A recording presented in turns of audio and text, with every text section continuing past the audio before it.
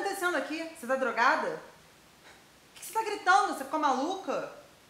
Berrando no meio da noite? Você tá pirada, né? Não, não, não tô, tá? Tava, conversando comigo mesmo. Ah, o João tava aqui, né? Você tava gritando com ele. Mãe, eu já falei que eu tava pensando alto. Ai, você tava pensando tão alto que você me acordou, né? Ai, ai, que saco! Pô, que inferno, por que que você não morre logo? Ai, morrer logo. É, tá bom. Ela me acorda no meio da noite. Acho que tem um ladrão aqui. Já vejo ela esfaqueada, despreocupada. E só que ela quer saber por que eu não morro logo. Com alguém ela tava falando. Com quem seria, hein? Tá todo mundo dormindo. Estava falando com alguém. Só não vai me dizer com quem. Prefere dizer que tava falando sozinha.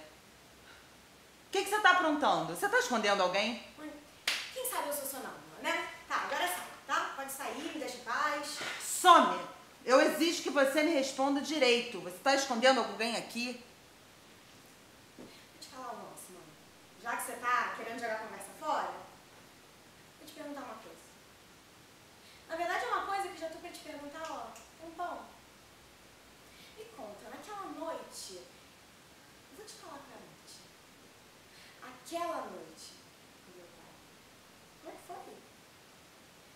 Um brilhinho sacando olhos? Como foi? Qual era o clima? Qual foi o motivo de vocês me terem? Aliás, você queria me ter ou isso não passava pela sua cabeça? Tô perguntando só pra esclarecer mesmo. Você entende, né, mãe? É. Curiosidade. Muita gente da minha idade tem essas curiosidades, você sabe. A galera fica com isso na cabeça. Nem sozinho, não. Sozinho, geral junto. Tá querendo saber como é que foi? No exato momento. Na hora que a mãe que o pai preparam fazer esse remix perfeito aqui. Já devia ter te perguntado isso há um tempo. Dei mole. Mas também, né, já que a gente se encontrou, que você tá cheio de tempo pra gastar, Queria saber como é que você sai dessa. Garota, eu vou acabar com você. Gente, que é isso, mãe? Se quiser responder por escrito, não tem problema, não. Sabe quem a gente devia ter perguntado isso? Meu pai. Mas também agora... É,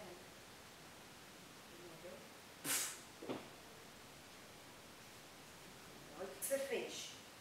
Me desinfetou.